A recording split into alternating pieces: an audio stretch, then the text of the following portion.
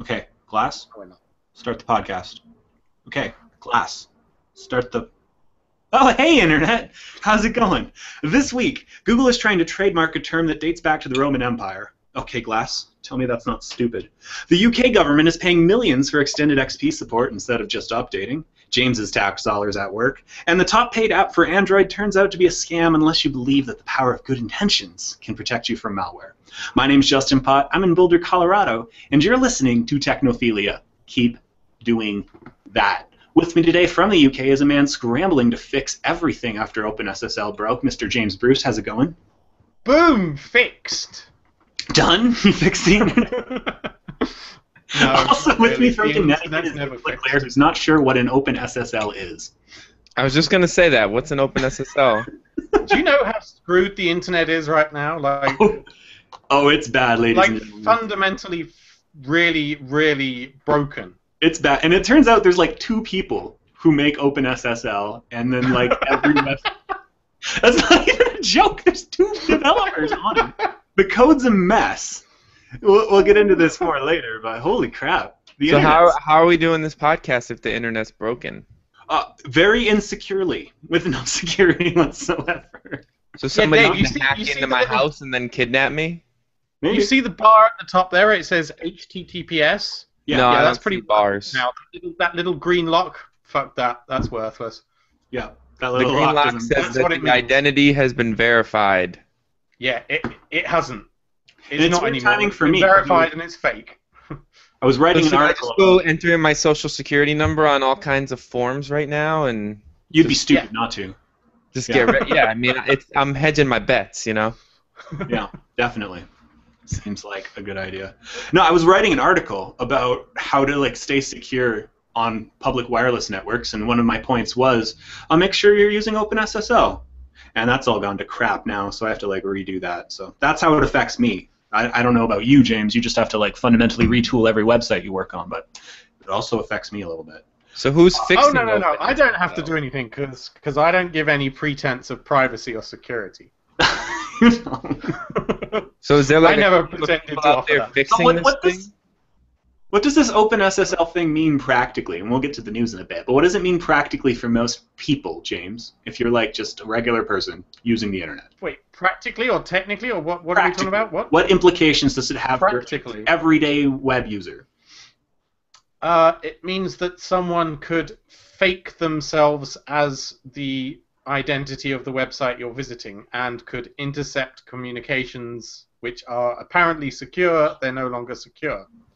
But it also means that if someone like the NSA, say, has been recording everything secured to come out of your house or go into a particular website, they Mhm. could now. I mean, remember, they were recording all this encrypted stuff. They could now Yeah. go back and decrypt it all.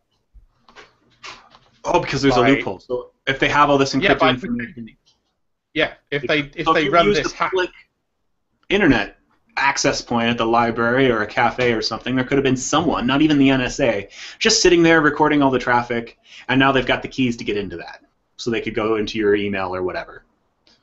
and it makes it Okay. easier to perform a uh, man-in-the-middle attack, I believe, which is where you, you pretend to be your your bank account or whatever, and it looks Mhm. like your bank account, and it even says this is secured by HTTPS, this is verified, this is this is legit, dude, but it's not. Oh, so you're man. pretty much the best advice uh, is to stay off the internet for the next week or so. Well, I'm Definitely clearly not not listening to that advice, and neither are technophiliacs, clearly, because they're here. And I don't know. Well, what do you do if you stay off the internet for a week? You like go for a walk? I'm not What's sure. a My walk? internet's actually down at the moment. I'm only I'm only getting by on this 3G thing tethered to. I was my gonna phone. say, uh, dude, the, the the role of James Bruce this week has been replaced by a bunch of pixels. 'Cause you were not looking too sharp. I could try and whack them up. I'm not sure if it would kill me though. Uh, maybe don't mess around with it. My my my webcam is all pretty because I got this new 1080p webcam, so I'm super pretty right now. Just yeah, you're looking fly. I'm like a model over here. Well, it's moving. Oh, geez. Great radio, dude. it's got follow my face on, so look, it moves. See, like, whee. Moving right along and it's like, Google- where did he go? is trying yeah, I to moved too fast. the word glass. What? You no, didn't of do course, your only trying to intro trademark. thing, did you, or did I miss it? What? Who? Yeah, we did an intro. Oh, you said that paragraph that I have there. All right, good. Holy uh, crap.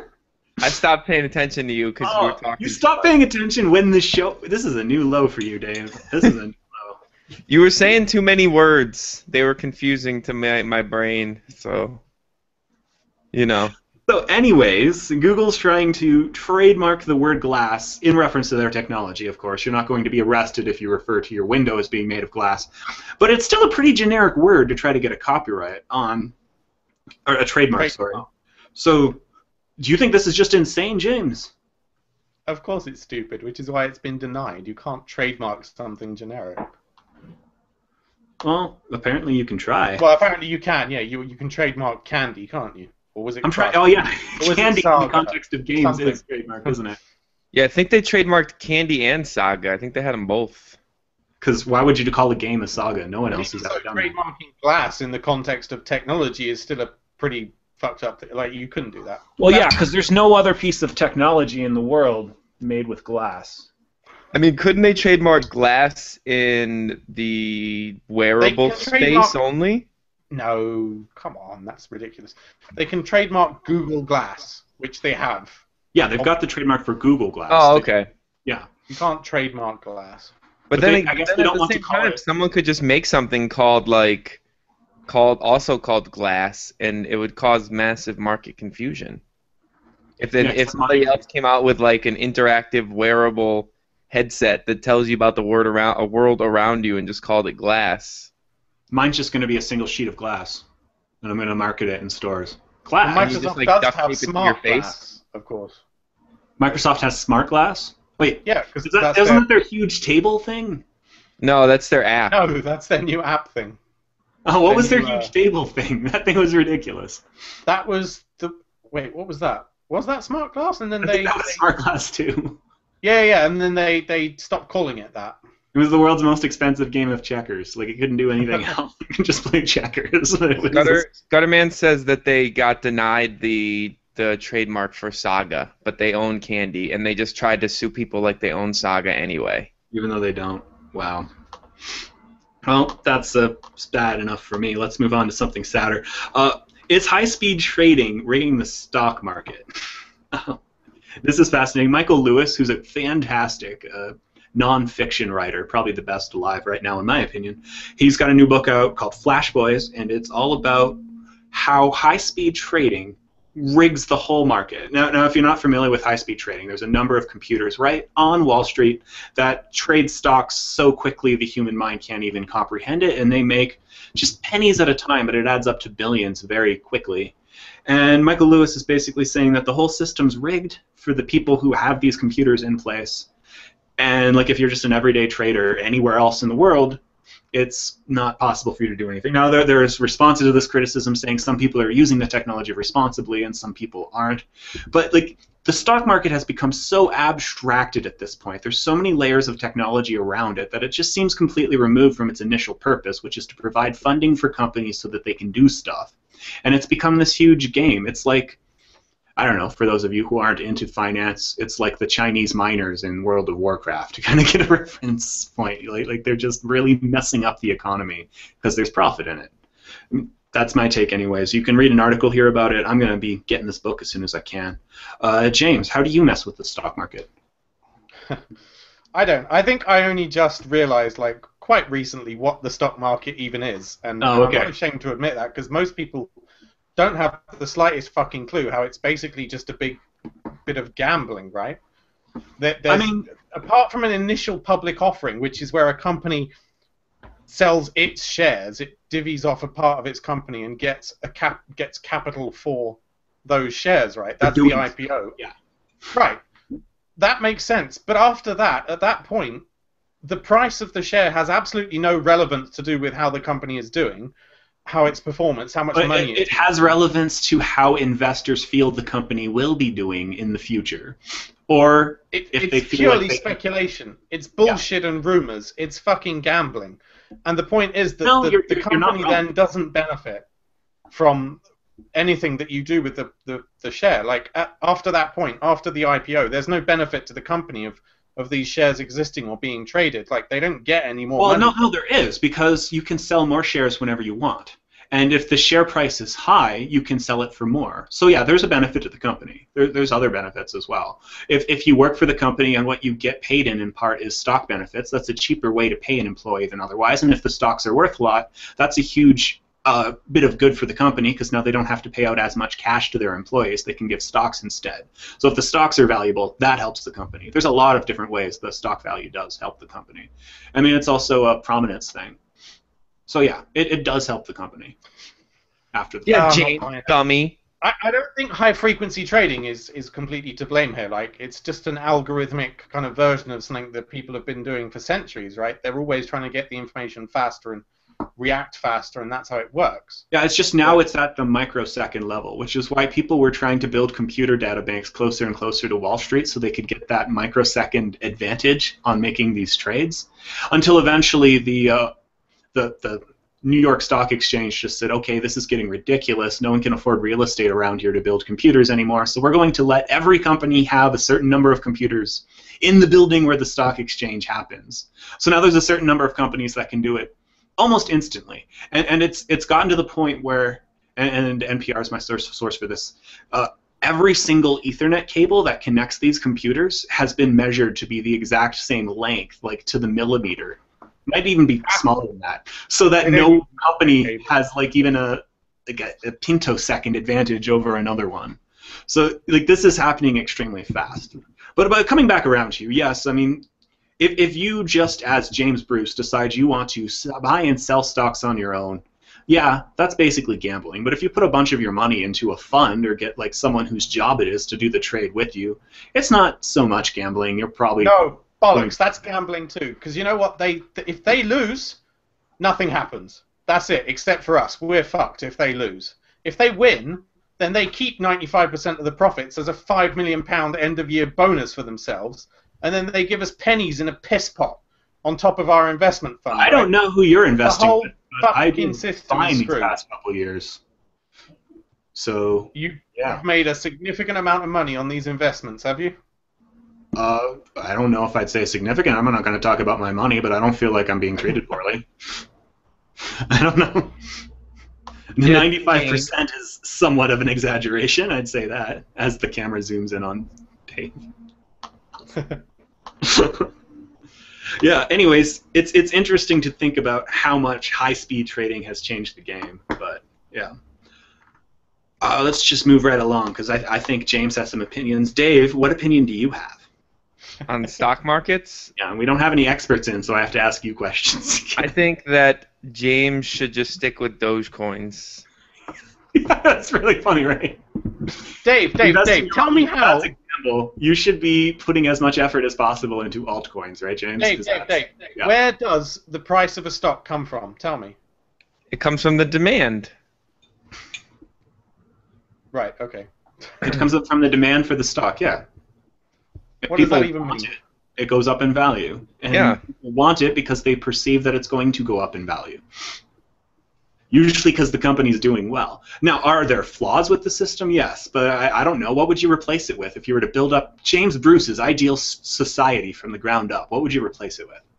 I'm sure there are well there are alternative funding methods for companies that want to raise capital, right? Kickstarter. Gambling. What you could bring in Kickstarter. It's obviously not the basis for a society, but Yeah, yeah, yeah.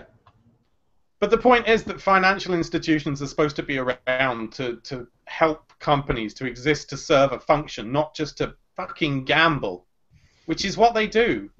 and it's it's happened so quickly. There's basically no regulation. So no, you've got some point.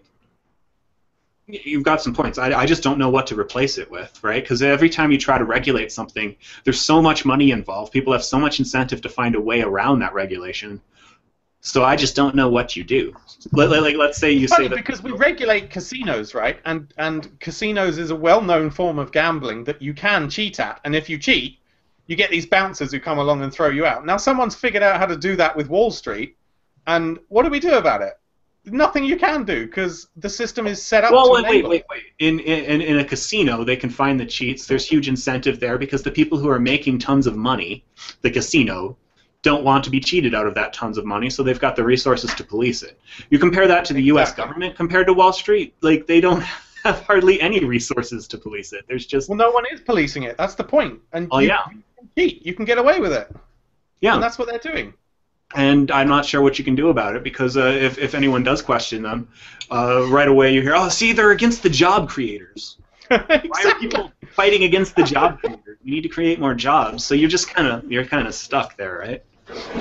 Yep. Title: James is ignorant. We're getting title suggestions already. James is a banker. Get This man is stupid. So the chat room is rebelling against Jalen.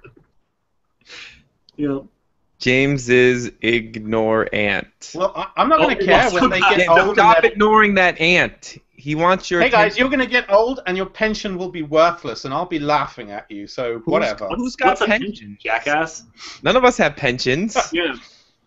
I've got my own money that I put away myself invested. Is there like a state pension that the UK gives to you? I mean, there's Social Security, but I know I'm not getting that. That's gone. Whatever. I had a pension, but I, I Right, bought it out or whatever you do when you just take it when I left that job. Mm. There wasn't enough in it. I only worked there for like a year, so there wasn't enough in it to justify carrying that with me for the rest of my life, so I just bought it out. I don't know. I've, I've got. Really, you don't have a pension at all? Like, I have an IRA that is privately that I Yeah. put money into, but not a pension. Pensions come from your company that you work for, and I'm pretty sure MakeUseOf doesn't have No, one I, I think he's referring no, to. I mean a in pension the is. UK, there's like a government-run pension system, which is kind of like Social Security here. Dave. Oh well, we technically no, have no, that, but that's that. gonna go. I go. mean, like um, a retirement fund. Then yeah, I have an IRA. that's what I mean. And an IRA, this is really fascinating technology talk, but you put money into it and you don't pay taxes on its growth until you pull the money out. Yeah. So it's kind of a nice deal. Anyways, moving right along, we could talk of finance all day, but I think people are getting sick of it. Yahoo is commissioning 30-minute shows, 30-minute like comedy shows on its own, Netflix style. I guess they want to compete with Netflix because why not? Uh, last week we talked about how Yahoo was pulling away YouTube celebrities onto its own. I, I assume it'll be called NewTube. I don't know. They're not very creative over there or Yahoo Tube. I like y- you don't have any idea, but uh, Yeah. again, just uh, doing stuff for the sake of doing stuff. I know Katie Couric's working over there for one reason or another. Wh- wh- How does this all end, James? How does this all end? Uh, I don't know. No. Well, I I mean, will Amazon's it. doing it too, so it just it makes sense. Everybody's Yeah. doing it. It's if anything, it's all a good thing because it's all a moving away from the traditional cable model. Yeah, and and the all these companies keep making shows, at some point it's going to get to the point where there's enough good shows on the these various internet services that people are going to just be like, you know what, fuck it, I don't need cable. There's enough entertainment for me to get without it. And then as that happens more and more, then the cable either needs to figure something out to make people want to use cable again, or they die, which is perfectly fine with me. the, the main advantage cable has is uh, live sports. Other than that, Which at some point that could go away too, though. You know, like there, there there's like ESPN uh, three or whatever it is. Their their internet ESPN, like they show stuff on there. The WWE has that WWE network. It's ten dollars a month, and you can watch all the WWE pay per views. there's no The blackout. UFC No, that all their their pay per views are live on WWE Network, and uh, Hmm. UFC has theirs. They have um, a, an internet thing that's ten bucks a month. It doesn't have all the um, the pay per views, but it has them after the fact. You can usually watch them like a week later and a bunch of other stuff. So like, there's sports it's going changing. that way. I just don't think you're going to see the NFL go to an online model anytime soon because they're making billions of dollars every game. So, I mean, it's But think about it. If the NFL could, like, let's say they could, they they realize that they could pull it off. They could still run the advertising that they run now because they would still get millions of viewers, and they Right. could charge a subscription fee directly to them that they get directly. You're right. And, on and the only of it. shortcoming is the vast majority of people don't have any kind of computer or electronic device hooked up to their TV that they could use it with. Right. But But, as time goes on, that that's going to change. less of an issue. Yeah. So Uh, make use of .tv is down, James. So, yeah, what? Is it? yeah. Oh well. So, Told you the internet's broken. Nothing to Sorry, do with me. yeah. Open SSL can't do anything. Well, you could still get to the show via your normal means, YouTube and uh, Apart I I TLK.io. Realize they can only hear you whatever. if they've already done that, right? Yeah, I think most of our listeners do that anyway, though.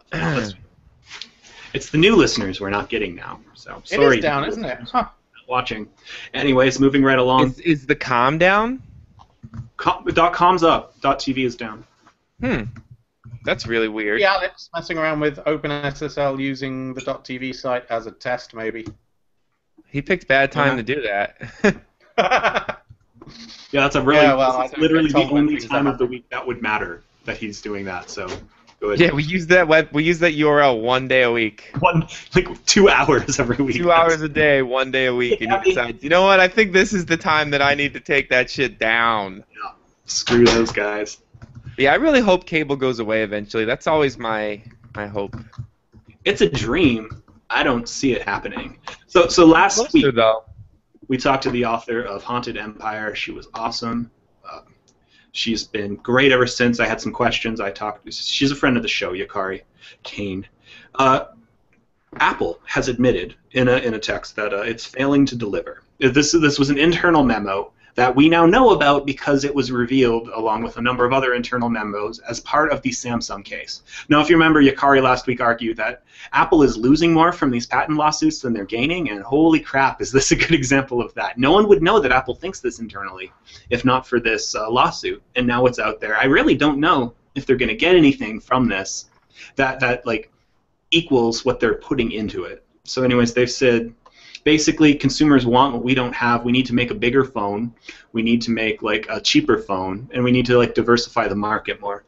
Now, Apple historically has focused on making one device for everyone. Now, that advice by everyone, they usually mean rich people, but we'll get into that a little later.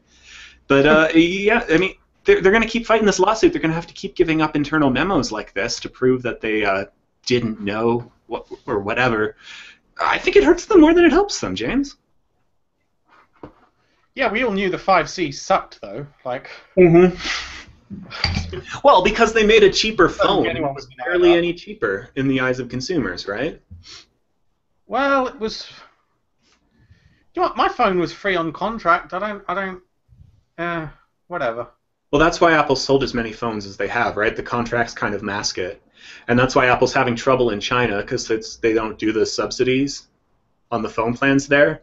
So it's like, Mm. oh, I have to pay thousand dollars for a phone. I'll get the hundred dollar Android then, right? Whereas here it's like, oh, Apple phones are two hundred dollars. And I've said this before. People refuse to pay hundred dollars at the shop I used to work at to fix an iPhone because they thought it was only a fifty dollar phone, right? Because they don't realize how much they're subsidizing it with their data plan. So there's that. So and and the the uh, 5C in the context of the data plan was barely any cheaper at all, right? If you're not thinking about the the subsidy you're putting on it, so there it wasn't Mm. that much cheaper. There was no reason for people to get it. I'm not sure I want them to just give in to consumer demand and make a bigger phone or something, or try and do whatever the market thinks that it wants. Like, why don't Yeah, be yeah. But innovative, make something new, and then people will want it. what can you do new with phones at this point, though? I mean, you can keep refining, but what's like the new thing? Maybe 3D holograms sticking out of it? Like, like what are you gonna do? maybe maybe not with phones. I mean, but you know, don't don't don't just give in to. I don't think they're going to anyway. They're gonna make this. Look, are die they while- struggling right now? Is Apple struggling? No, I mean They're not whatever. struggling financial, but uh, financially, but they, they do need to figure out ways to keep gaining new audiences and to not lose audiences to Android. I, I don't think they're struggling. They're making a lot of money, like a lot of money. But uh, historically, they've done better when they create new market segments than otherwise. I don't They're think they gonna need make to worry the about. iWatch. It's gonna be the. They're gonna make the stupid wearable thing that people actually want to buy. It's pretty much. Nobody cares about smartwatches, Dave. They do when it comes from Apple. No, no, no, they won't. You'll see. You think? You think the smartwatch is just going to be a big deal? Maybe do if for Steve. Jobs were alive and was saying like everyone needs a smartwatch because I'm Steve Jobs. That that's how Steve Jobs. No, sounds, even I wouldn't fall for that shit. no. I don't want one. What the fuck? I, I could make the commercial for Apple right now. They should go against their cool, trendy stuff and just make like a total infomercial format. Are you tired of pulling your phone out of your pocket to look at a text? Smartwatch. Yeah, but see, I bet you they come up with some something interesting with the smartwatch that's more than just like, "Are you tired of pulling your phone out?" Yeah. Yeah, it's a smartwatch and an iPod and an iPhone Scudderman And says Apple never had good products; they just had fantastic salesmen. I don't know about That's that. bollocks. I don't know about that. I'm fairly I'm fairly certain that the the original iPhone is what put smartphones on the map, and not just because it was. a good Android was only salesman. made because of the iPhone. It's Yeah. Well, no, that's not completely fair. Apple bought, or Google bought Android in 2005 and had been actively developing it ever since. But it did yeah, look but then like it they was saw going, the iPhone and they were like, "Wow, we have to change everything." yeah, because it was going to be like a BlackBerry clone basically, and then they uh, Right. They changed everything to be more iPhone-ish, and that leads us to the lawsuit we were just talking about. Uh, so, so yeah, Scudderman's saying Apple never had good products; they just had a fantastic salesman. I don't think that's completely fair. Uh, a Dirt Perp, who I assume is Dave Parrack, says Apple's struggling to find new users. It's the same people buying the products over and over. You know Who what? cares? As long as they're buying them, who cares if they're new or old? As long as they keep buying that shit, what does Apple care if it's new or not new? Well, That's getting a fairly good point. I mean, eventually What- they're gonna kind of die. Apple- what kind of company does Apple want to be, though? Do they want to be a company like Microsoft, who just has like an entrenched user base and they keep them happy, or do they want to push forward like what Microsoft's trying to become but is struggling to? Because once you get stuck in that, you will you lose your users eventually. Yeah, they die. Yeah. Wouldn't Oh, a line of budget Apple products be crazy, world changing? Well, Well, Apple they, they already tried that with the with the 5C, and it's selling like garbage. And they didn't need to do that with the 5C because they have a That was- budget item that and it's their previous fast. phone. well, and that's that was how the confusing doing it. part. Yeah. They've been selling their previous phone as the budget one. Every carrier does this. So I'm not sure why they thought they needed to make a new one. I guess they thought the colors would be more powerful. Maybe they should go back to the whole candy coloring of the original iMac and make That's it what they tried with the 5C, isn't it? Or like you're talking about like Uh, I a guess. transparent case so you can see what's going on inside. Well, making making them, uh, you can't make it much more consumer friendly. Uh, I don't know. What if they That's why I went? don't What if run they just Apple. threw everyone for a loop and brought back the flip phone? No. No. like they should knows just do a presentation that's the opposite of the presentation they gave for the iPhone in 2007 and just be like, touchscreens are annoying because you can't feel the buttons. You know what's the future? Physical buttons. And you see like a BlackBerry type keyboard up on the screen. No, no, no, no. Then they say, and they say, you might be asking yourself, how do you type on this? Well, we've come up with a new method called T9. What you do is you just push this button like three times to get to C, and then then you do it again. But what if I need to scroll through a menu? Well, we stuck one of those iPod wheels on the back, so you can hold it like this and just like use your back finger to turn through menus. And I think it's magical and revolutionary. Yeah. You know I what? decided though I'm gonna get rid of my MacBook. I want to go back to a. I want to go back to all PCs for my computers. Yeah. Why? Cause my the MacBook's a piece of shit. It's slow. It doesn't run well.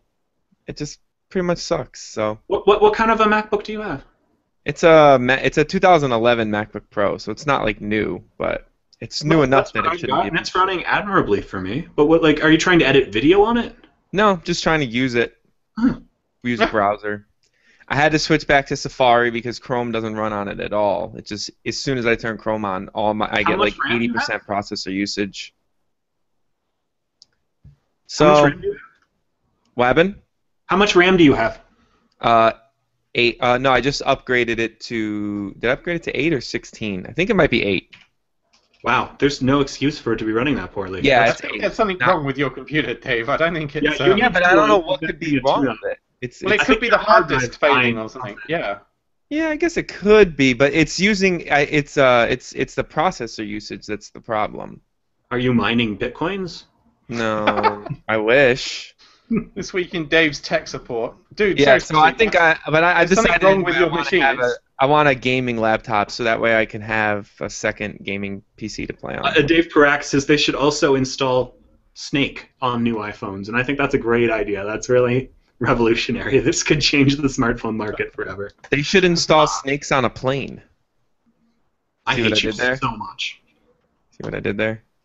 No, I, I see what you did there. I refuse to acknowledge it. It's like Uh, it's like a movie with Samuel L. Jackson in it. Here's a statement for you. Uh, Android is for poor people. Uh, there's a map here on Slate. You can look at it, and you can see that Uh, iPhone ownership is extremely high in Manhattan, New York, and then outside Manhattan in Newark, New Jersey, Android usage is extremely high. And that basically summarizes the economic split between the two systems. If people can afford an iPhone, they generally get it.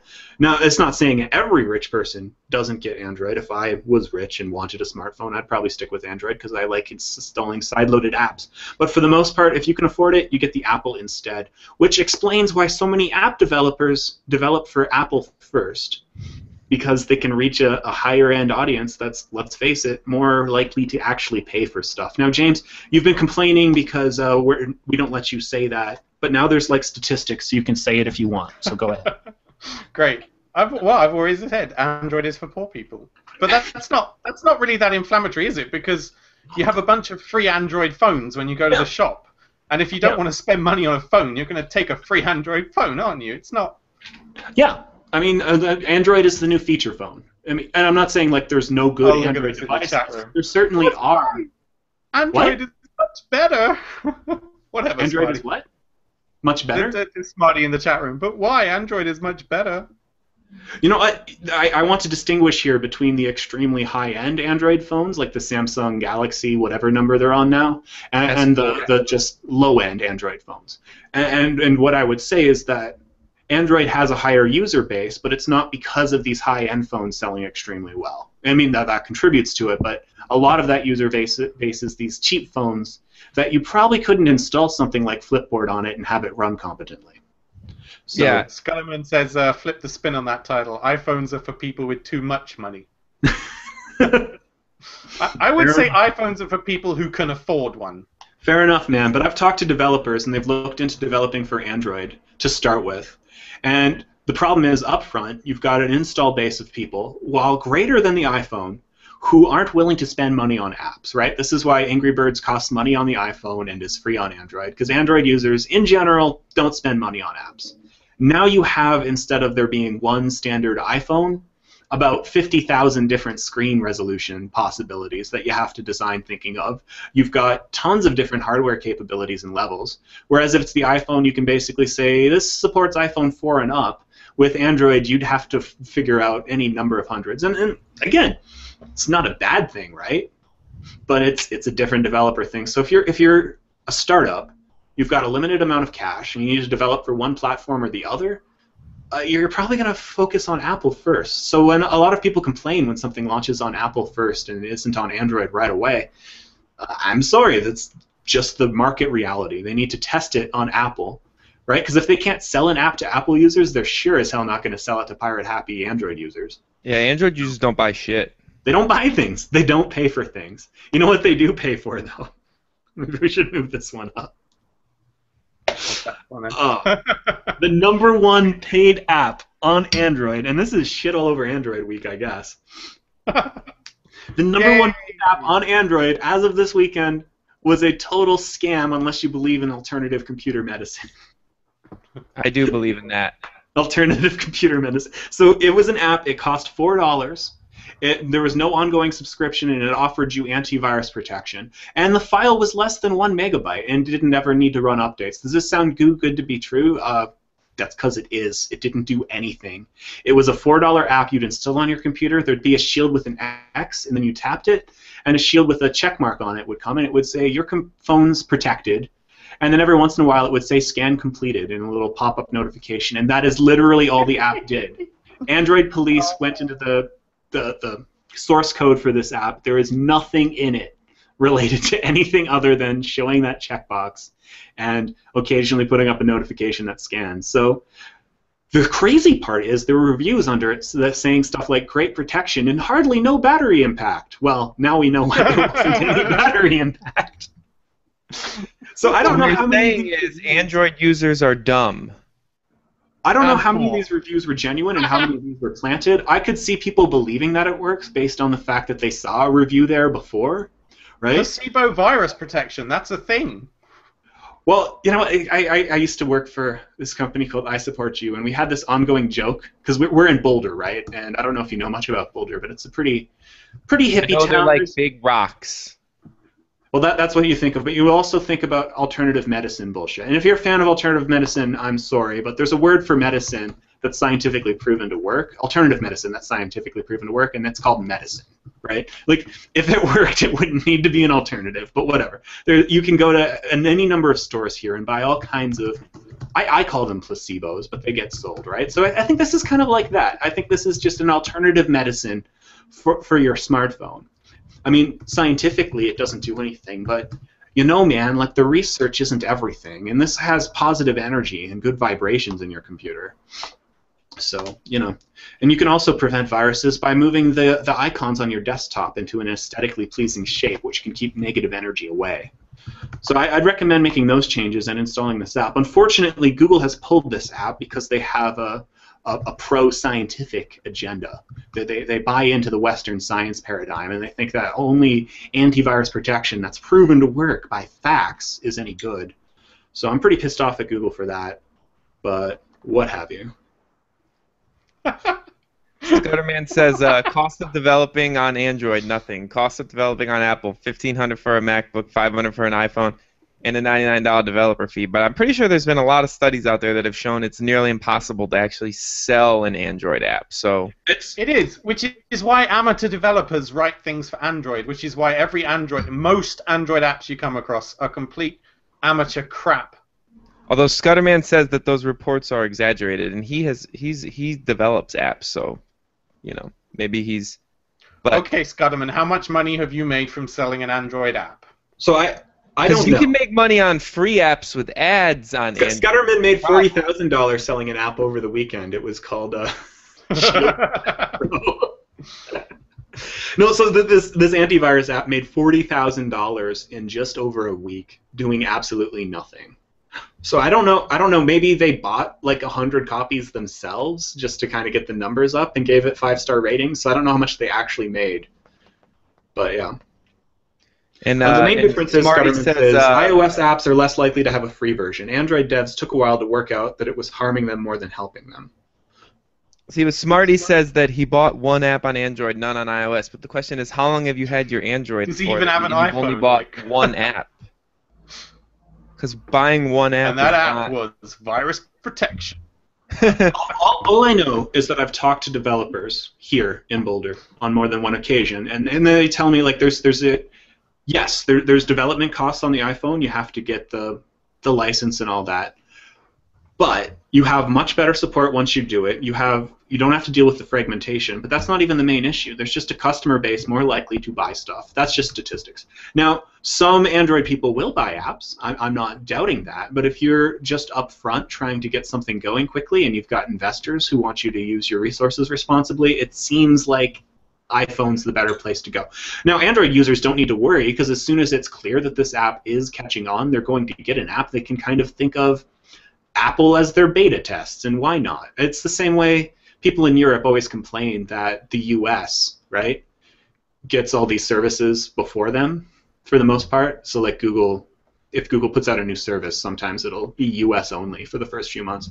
And that's just because they can't launch worldwide right away. There's so many different countries with so many different laws, and they'd have to work out the regional rights to all, like Google Music, for example. So, they can't launch worldwide right away, but it means that us, the U.S. consumers, are filtering this for the rest of you. And I think you can think of iPhone users as the same way. They're filtering these apps for you. And once the iOS users deem it worthy, you, the Android users, can play with it. Uh, yeah. Scum.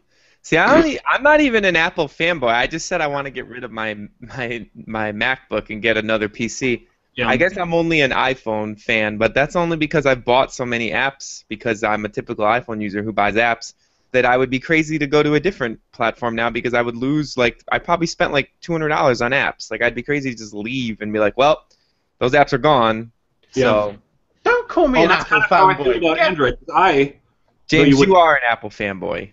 I'm not an Apple fanboy, given that I grew up using Windows and just then switched. It doesn't matter what you grew up using. I grew up using fucking Commodore 64s, but I'm not Commodore 64 fanboy. I'm not that old, dude.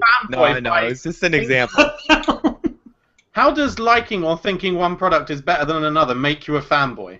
Uh, by fanboy the... is someone who doesn't listen to reason, who who actually well, because if you want to be logic. technical, I'm fairly certain that like the the spec for specs, like a top of the line Samsung Android is better than an iPhone.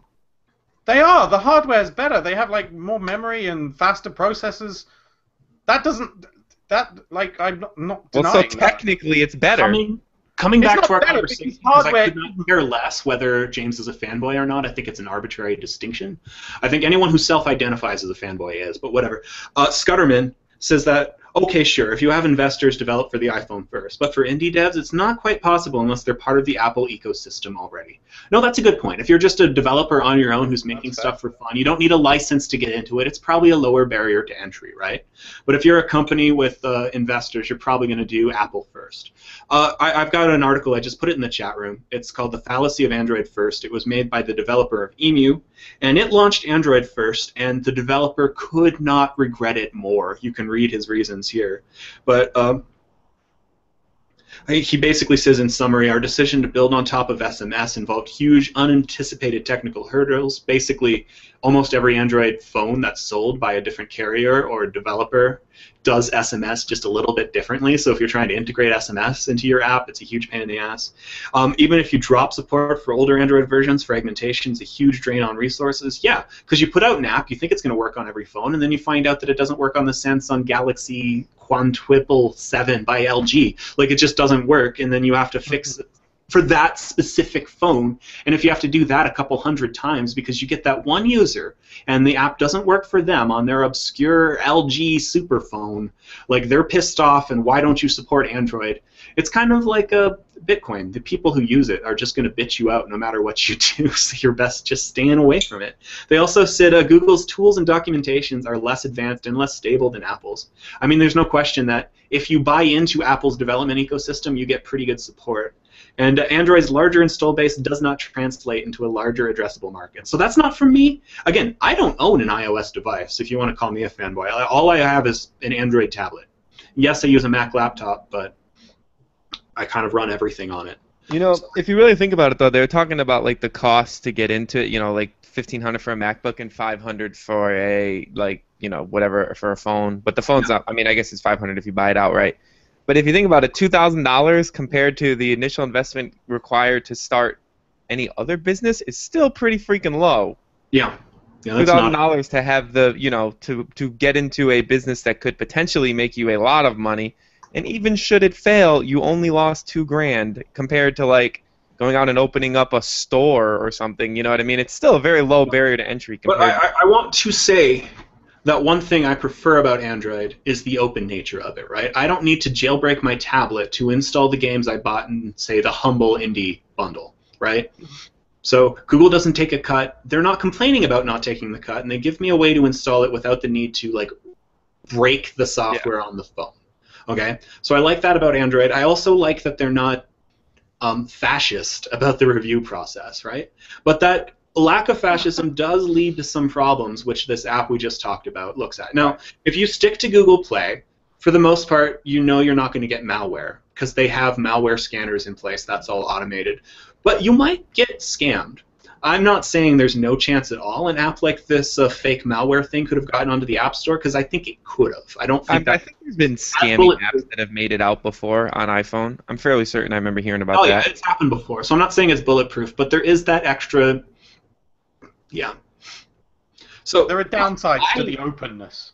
even with those risks, I prefer an open system, and I, I actually prefer the user experience of Android to iOS. I also like that it could be adapted to like other stuff. Like you can, Yeah. you know, like Amazon can go out and kind of build their own modified, tweaked Android for the Fire TV and the Fire in, you know, make it how they want. So you couldn't So do I that just with want to make iOS. it clear, I am not, and I, I think Dave, you, you can back me up on this. I do not think that Apple is just the better ecosystem. I'd, I'd much rather see a world where Android is the dominant platform than iOS. I'm just saying, if you're a developer right now, uh, not even a developer, a company who's trying, like a startup, you're probably better off focusing on Apple at first.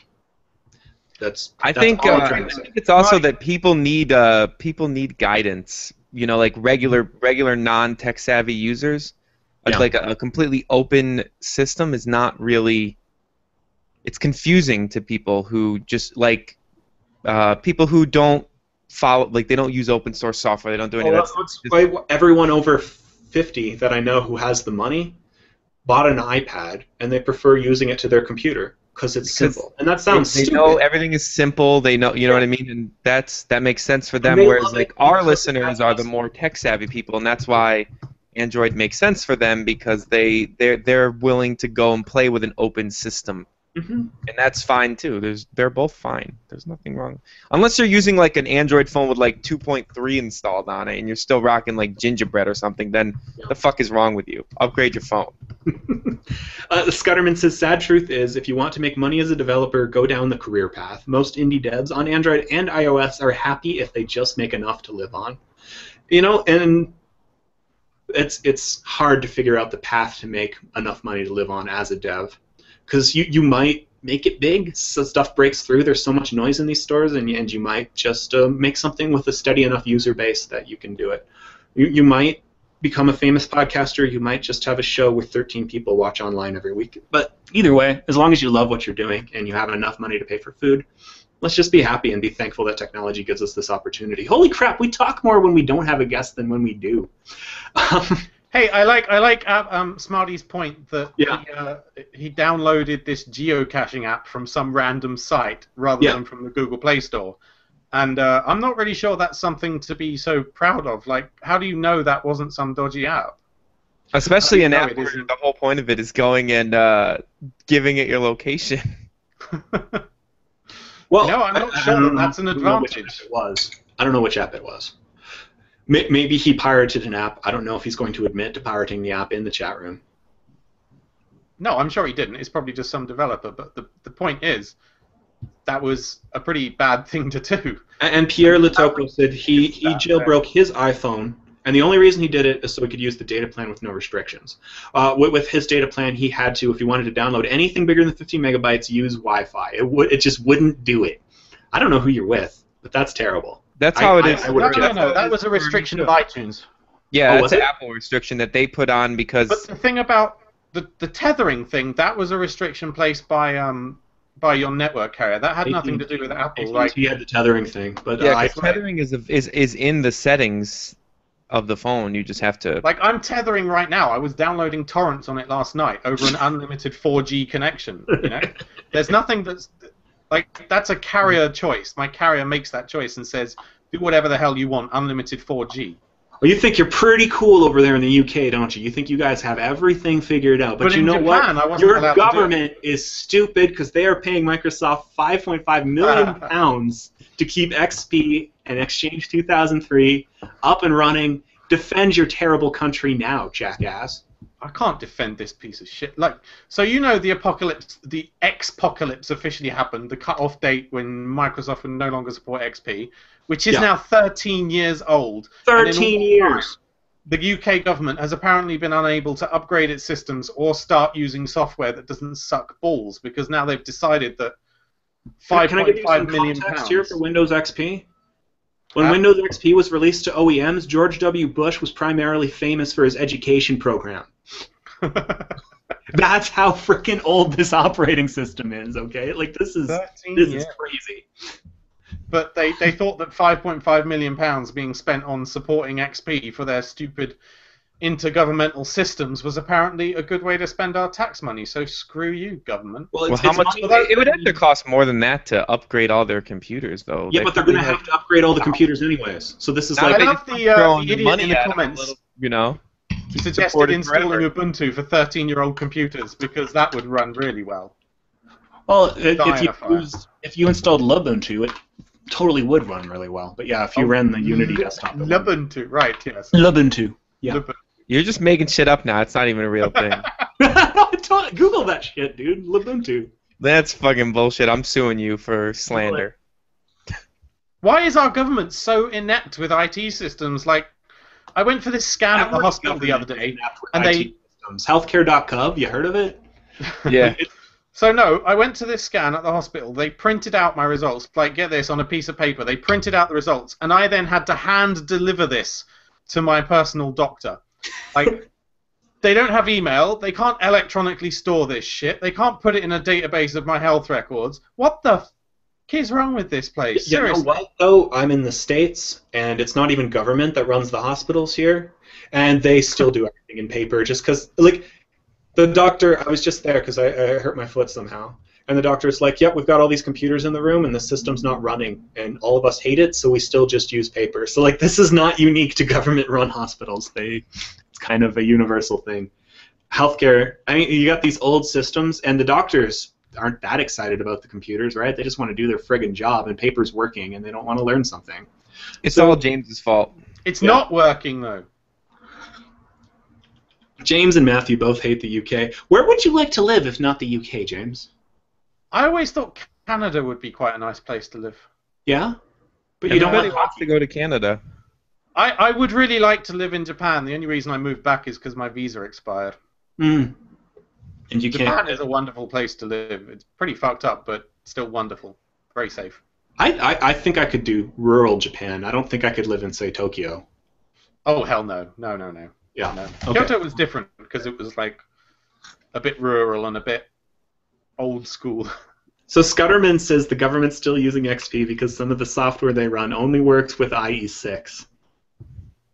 yeah, exactly. This goes so much deeper than I imagined. IE6, really? Wow. Well, it's probably think- ActiveX or something stupid that that anyone It's could time to rewrite, but they're not going to. We should all we should all move to uh we should all just move to Canada. The whole MakeUseOf crew. We'll just move to Thing is, Canada. I hear it gets quite cold We there. could get an I'm not office really in Toronto. No, it doesn't get cold in Canada. That's a vicious rumor spread by American propaganda. Just go as far south as you can, and it only gets kind of cold. Don't they then speak? Toronto would be comparable to Connecticut, I think. It's a little north of me, but it's close enough. No, but in terms of climate, the lake's regulated a little. It would be comparable to Connecticut, I'd say. You're I think comparable. I think MakeUseOf should But I just don't like Connecticut's climate. Oh, well, screw you. Where do you I want to move? move. I want Southern California climate, 70 Oh, degrees. I would die. I would die. year. Colorado's warm enough. It's too hot here. I hate it. I hate summer. Summer's the worst. But in but it gets hotter where you are than in like in Southern Cal, like mid Southern California, like never goes above like 80 and it never goes below like 60. It's just like paradise, 364, except that one day a year where it just gets really hot. But, Let's you know. move to Technophilia Land, Dave says. I like that. Oh, that sounds like a good place. Moving right along, you can charge your battery in 30 seconds. What is this magic? All I know is the Link 404, so you're on your own with this one. Oh, does it? Oh, I just backspaced some stuff and now it comes up. you might want to Oh, change that. sorry. buddy. Oh, there's like Uh, some 20s and shit in there. What's up with that? It was a puzzle you had to figure out if you're listening to the show and following live. So, uh, a Tel Aviv company has a battery that they can be charged in 30 seconds. This could change a lot of things, right? If you could just Arez well, built this in his house. Arez has this in his house. He built it. He's the designer. It's in Tel Aviv. Arez is the only thing I know of in Tel Aviv, so Arez- obviously Arez Arez did it. is all you know about Tel Aviv. So this is, Arez and Yara just built a battery that charges you in know, 30 it's like a major world city with tons of people in it, right? Nope, just Arez. That's it. That's all I know. So look, like on the one hand, this sounds absolutely awesome if you could get a full day's charge in 30 Mhm. seconds. Mhm. But on the other hand, it talks about bioorganic battery using tiny self-assembling nanocrystals, which makes me think this is bullshit. Singularity. Phone's Yeah, gonna come to uh, life. I, like, is is this legit? Seriously, it sounds like a big hoax. And when they You start me. throwing around I mean, words it's- like Bash Britain Day, and this is reported by the BBC. So Like when they me. say bioorganic and nanocrystals, do you not just think, uh, not so sure about that? uh, I have no opinion, sir. I Maybe think there's that the, uh, I, I, all I know is you hear stories about new batteries that are going to change everything constantly. And to be honest, this makes sense. The main limitation smartphones have right now isn't technical, right? They could make a way more powerful smartphone right now, but batteries aren't equipped to handle it. So they, they need to, most of the innovations going into making these high-end processors more efficient so that a battery can run it. If we could have a much more powerful battery, we'd have much more powerful devices, right? Because we could use technology we have right now like like we, we have these chips right now. They just use so much juice that it's not practical because no one wants a half hour battery life, right? So that's you're gonna keep seeing stories about the future of batteries like this, and uh, Well, they said it'll be a reality in two years if they can get their ass together. So I don't know. Uh, that room is talking about Technophilia Land, and if some of you could make artistic renderings of what Technophilia Land will look like, That it's would not be allowed to have my face, by the way, so It's shut James's off if you think it will. I'm sorry. You have the funniest face of any of us, which is quite remarkable because I'm in this group. But yeah, we're, we're gonna keep Well, using it. James also takes lots of pictures of himself in weird situations. That What? Mad Hatter picture. Yeah, or you in like some kind of whatever that picture of you from in that white fucking thing you were wearing, like with Well, his, golden. his wedding photo. He's dressed up like a sea captain. yeah, Oh, I agree. That was weird as shit. But that, Why did you? Why, why, would- why did you do that? that's it's a cultural thing, man. That's what they all do over there. And apart from anything, I didn't choose my costume there. Oh, that was in Japan. No, that was in China. Oh, It's In a thing China, they all do. the They they they like sea out, like- captains. they, they, they do pick out- costume wedding photos. They do they do costumed wedding photos with different settings, and you get animals to put in your photos as well. And What? That's awesome. James, was that you making the. Photoshop thing with you all like with your yeah, with of your? course it was. I was looking. I sent it to Justin. I was like, I just happened to look at the media browser, and I was like, I just sent Justin the picture, and I was like, what the fuck is going on on our website right now? And I sent him a screenshot of all those stupid pictures that you had in there, and I was like, what the hell is happening? It was like a tutorial on how to do a 70s retro poster. So I thought, what's the most ludicrous looking picture I have of Where me? is that picture? Is that article up yet? Uh, no, I think Jackson's still editing it. Stay tuned for that because this thing's. Say, we're on like a week delay three- now, so everything takes a while now. It's not like it was a- a month ago where you scheduled it and went up the next day. No, this is good though because that was happening because we didn't have enough articles. I articles. know, but I miss those days. yeah. Those days were fun. Anyways, a Game of Thrones is back. Everybody dies. Spoiler alert. Uh, I but didn't uh, watch it. Don't tell me what happens yet. I haven't seen it yet. I forgot. I actually am not watching this yet, but you can't spoil me because I've read the book. So Wait, unless- listen to this though. Listen to this. That's why I want to. I want to talk about something about Game of Thrones real quick. I'm gonna. I'm gonna bitch okay. at Jess because I know she's listening. So my friend Matt and me were all like, "Yeah, Game of Thrones is on on Sunday," so you know we're all excited about it and whatever. And then Mhm. Jess texts me and goes, "Game of Thrones isn't on until next week, so you're just not on tonight." And I was like, "Oh, okay." So I believed her. And then the next day, everyone's like, "Game of Thrones was on," and I was like, "You told me it wasn't on," and I was I was upset. Man, that sucks. Why didn't But you yes. Google it? She Googled it and it said it was on like April 17th or whatever, but that obviously meant the next. I don't That was know. probably like the UK air date. April Yeah. 17th, a Thursday, so whatever. yeah, I don't even know what she's talking about. The, the season four premiere was so popular that HBO Go went down. Now, now James has an interesting aside here. yeah, yeah. Interestingly, the uh, the torrent copies they didn't suffer the same fate. They stayed up. Yeah, interesting. It's funny that- because the more people downloaded it, the better it got. Yeah, yeah. It's weird. Weird Uh, system. Yeah, it's weird. We laugh, but I, I really do think some kind of P2P system would help systems like HBO Go and Netflix a lot. Now, there are legal implications there we talked about earlier, but yeah. I don't know what to do about that. Because, uh, you know, they're never going to get as much traffic as during, like, a huge premiere like this, right? It's just never going to happen. Nope. But, I mean, they can't build up their infrastructure just for those. And then the nice thing about cable is it doesn't take up more juice to broadcast to more people, right? You turn your TV on and the signal gets to you because it's going out to everyone no matter what. So this is one shortcoming the internet kind of has is the bandwidth issue, and someone's going to have to solve it. And it's I probably got going a to be Comcast. solution. What?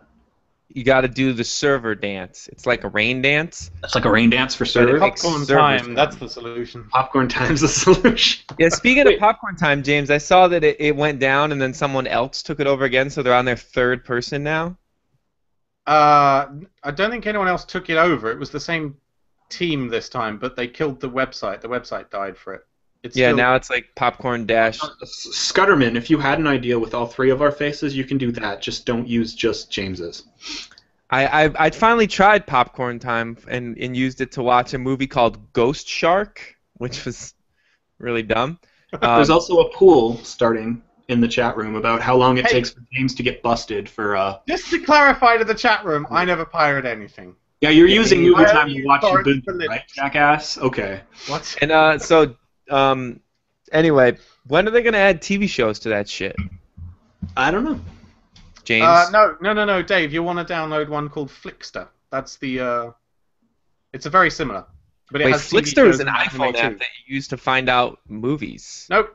Flixtor. F L I. Oh, Flicked with an O in it. Yeah. That's uh, that's another one that has TV shows and anime on it as well. So once one of these pop up, they just they just all pop, huh? Just pop, pop, pop goes the Apparently, it was being worked on before, but when they, they saw Popcorn Time, they were like, "Oh my god, that's the same as our app. We have to release now." It's on Android too, so you can't get that on iPhone. Oh, it's No, coming you- soon to Android. You can't Yeah, use my it's- face it's, for it's anything. mainly because you're like pro piracy on one hand, but then you you use the smartphone platform with the most regulated interface. So That's you must because be I want my smartphone to work. nice, nice. You're right. Android's Oh, crap. they stream, they put it up for download on Mega, which is where Popcorn Time was and got taken down from Mega. So they're just following the exact same path of Popcorn Time. This is fun.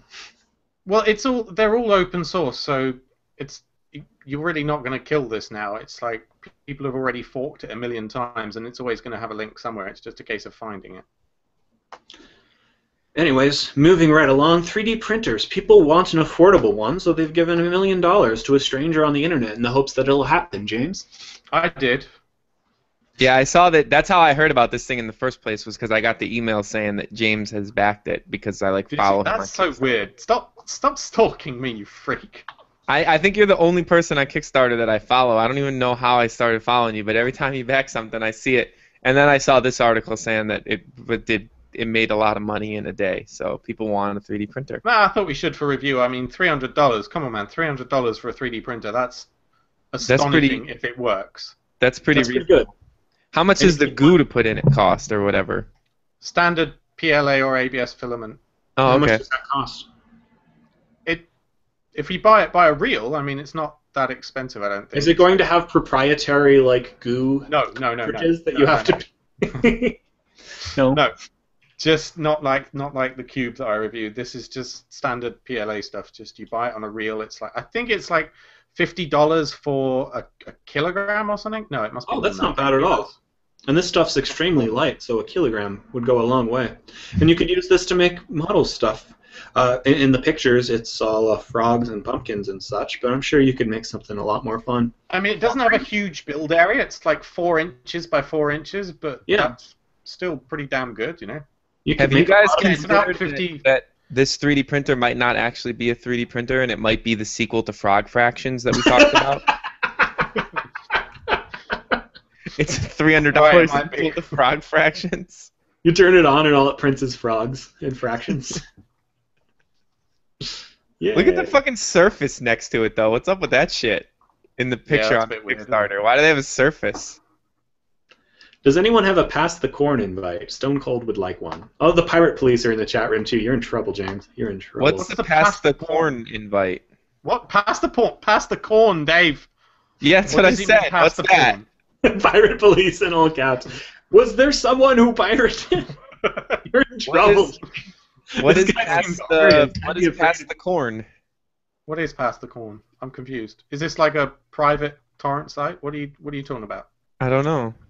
I'm sure he means past the porn. He really means past the porn, doesn't he? I'm When I put in past the look that up. popcorn, it takes It me. to- is pass the porn, you buffoon. It's a torrent tracker. but it says corn. Yeah, he spelt it wrong. It's past the porn. What? I don't Are you sure? Google No, tells me so. Okay, moving right along. Oh well, that is that is a that is a true to life statement that James Bruce has made, but I still think he meant something else. Like all of them. Is a great article in the New Yorker this week. Interesting thing, isn't it? I'm not going to get to say this, am I? Okay, what's going No. on? Dan? No, I'm just reading Dave's chat nonsense. You should just give up now. Go say your thing.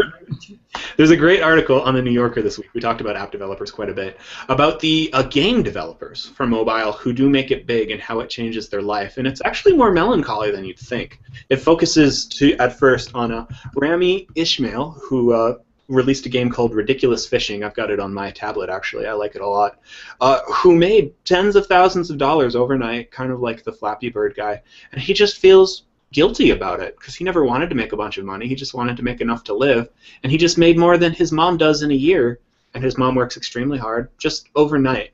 And the whole article goes over various people just trying to come to terms with the fact that they have all this money and just feeling really bad about it because they didn't see themselves as entrepreneurs trying to make a bunch of cash. They saw themselves as the little guy just trying to do something fun. And I don't know. You might not relate to this at all, James, because more money means less problems to you, but I, I've really found this interesting. I well, really it didn't affect Oh. Rami too much because they just came out with another game, two more games, in fact. I find but I it interesting that he doesn't want the money. Making money. What's and up? yet he sells the game. Like, where does the money come from? Did he? You know, What? it's not like he's giving the game away for free. Yeah, If you he's didn't want money, why didn't you not charge for the game? What's wrong with you? You're, you're, missing the point here. It's it's not that he didn't want the money. It just makes him feel guilty because he's got all this money all of a sudden, and there's so many people who work just as hard, and he can't quite make sense of why him and why not anyone else, and why because did his game was so really quickly. good. Yeah. Okay, That's- well, that's- go ahead and give it away to charity then if you Yeah, want it. and so Like- eh, his game was really good, and they're apparently the new game they just put out on PC called Luftrausers is also very good. So the reason he's making a lot of money is because he makes good games. You shouldn't feel bad about that. He has a skill, and he's using it to make good games and making money that is in know his games are making people happy. So was the creator of Flappy Bird, and he became loaded Right. too. But the but the big difference here is that the the Flappy Bird was a piece of shit, hmm and Ridiculous Fishing is a very very good game that's a lot of fun. It was like it was like four bucks. I actually bought it, and I usually you know try to buy apps that are like two dollars or less. Yeah. But I heard Ridiculous so much good bucks? stuff That's about Ridiculous insane. Fishing that I bought it. If he wasn't planning on being that rich, why did he charge four bucks and not ninety nine cents? Jesus Christ! That's also true. Maybe that's, That's why he such charged a crock of shit. This because a lot a- of people don't buy. Did you read the article, James? Or you're just reacting to the things I'm saying. I didn't. I'm reacting to the things you're saying because it pisses me off when rich people say they're upset for being rich. I just want to punch them. I don't think it's upset. I just think it's more melancholy, and there's a certain guilt associated with it. Guilty. It's possible to become rich making an app quicker than anyone who makes movies, TV shows, or like like uh, music. It Or just happens trading. instantly and overnight now. And I, I think it would be hard to deal with that in context. I don't know. You see plenty of rock stars burn out and kill themselves on heroin because they had all this money all of a sudden and they didn't know how to deal with it. Now it's happening to the most socially unoutgoing people you can imagine, who are these indie game developers. And I'm not saying like I don't if, if I if I came across as saying this article is like them bitching about it, that's not true at all. It's it's just more like it's it's a different state of mind you need to deal with from living paycheck to paycheck to having this huge amount of money. And what what I found interesting is everyone in the article kind of says they find one luxury to pay for with the money just to kind of deal with the fact that they have this now. And the one guy, I forget who it was, he he bought the cheapest salmon in the grocery store and the most expensive one, and then cooked them at once to see if there was actually any difference. And that was his big indulgence, and I, I really like that. Was there? What? Was there a difference? Uh, he doesn't say. I'm wondering if there Oh. is. No, I'm skeptical. Anyways, it's a good article. Sounds You to me like read the it. person who interviewed him had an angle he wanted to take with the story, and he asked questions that led to the answers that he wanted. That's Could my be. guess.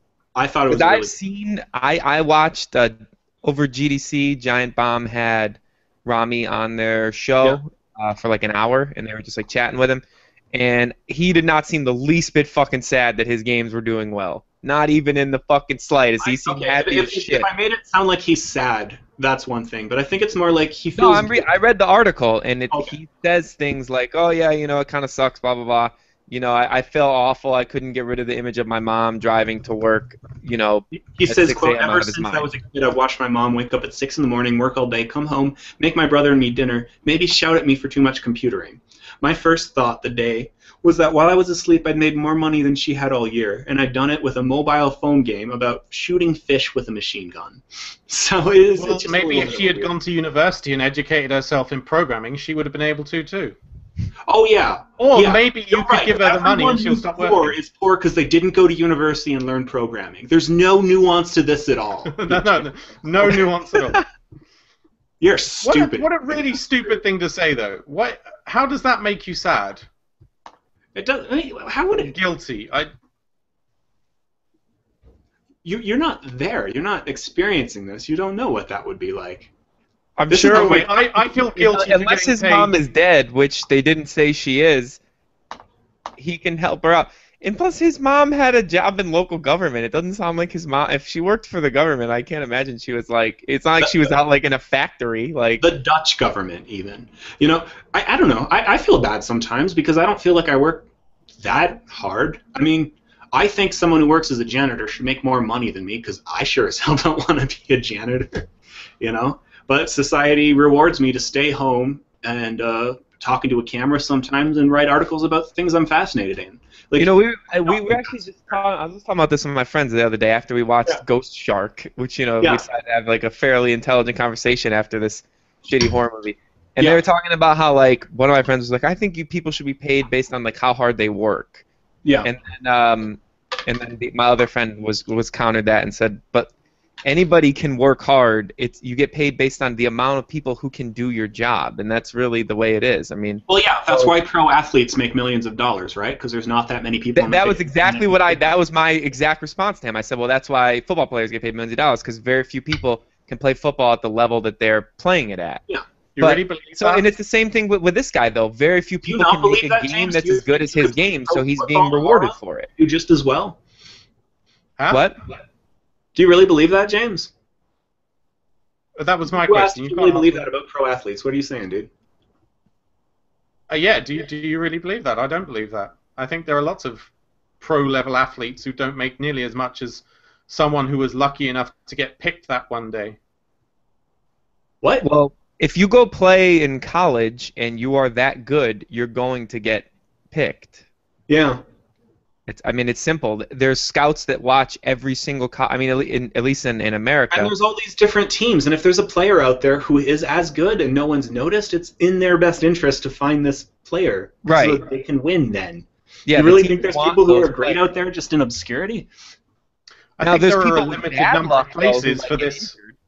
this little gravy train that people get on. And even if you are as good, you might not have been lucky enough to get there. Don't don't make this idea that that everything is based on skill. It's not.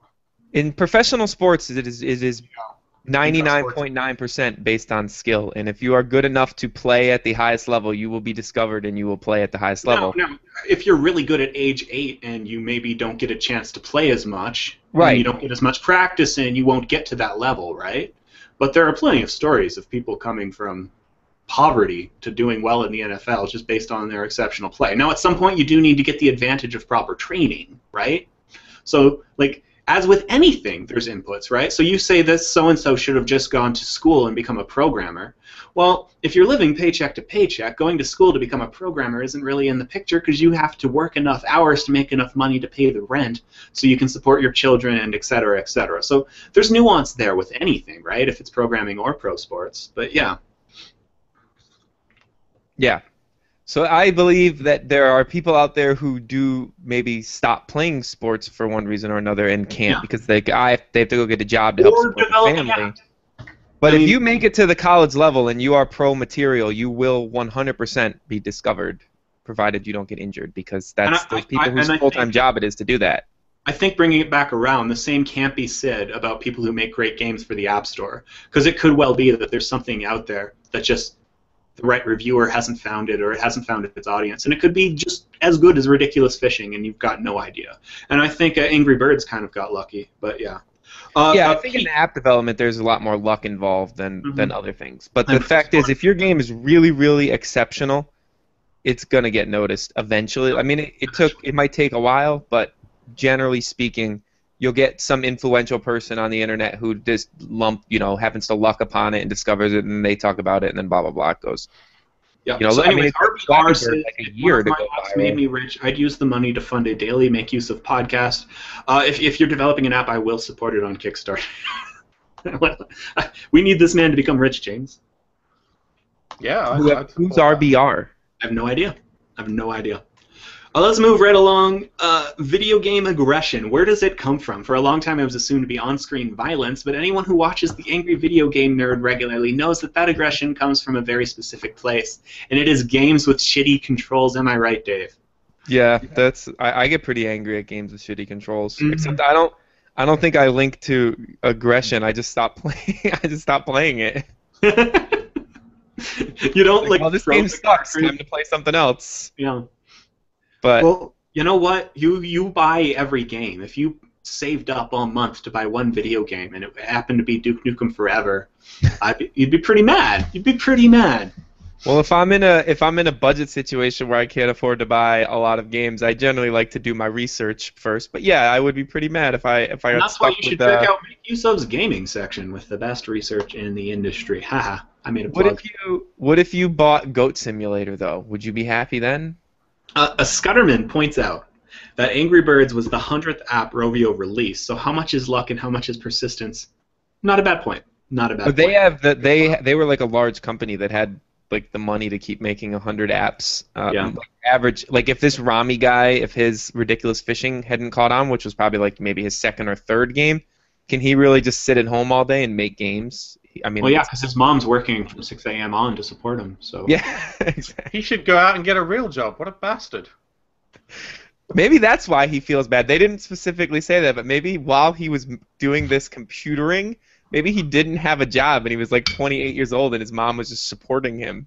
And he feels Like, bad about the it in retrospect because now he's rich because he didn't have to pay. Yeah, he feels bad for freeloading off his mom at 28 years old, you know, or You know however I old he think he's going to treat his mom pretty well now that he's got all this money, and it's going to be okay. The other thing, like the the pressure once you make it big as an indie game developer is the next game, right? And you have to try to top what you did, and there's like a spotlight on you. Whereas before you could experiment and just try stuff.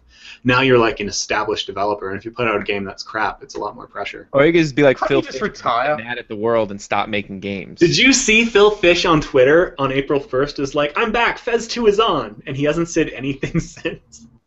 Wait, wasn't you, he you gotta go to his Vine. He's a? Viner. What? Phil Who's Fish is a Viner, man. He's just on Vine 24/7 making videos. If you want to keep up with him. I, All, I I, thought all I one of know the is indie everyone devs- was like, "Oh man, I'm so happy!" Oh crap, look at the date. Like they were so bummed out by it. wasn't everyone like showering with a, with abuse, so he just said no, not doing it anymore. Well, that's what happened to Phil Fish. Well, Yeah. not Uh, I. But it's also because Phil Fish is an asshole.